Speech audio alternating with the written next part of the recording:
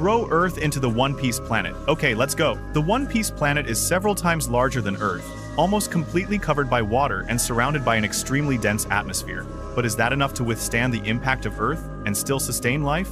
Here comes Earth. At the moment of impact, a colossal explosion is formed, releasing enough energy to melt the crust of both planets.